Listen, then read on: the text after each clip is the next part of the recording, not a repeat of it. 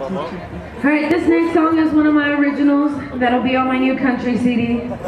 This song I dedicate to my aunties.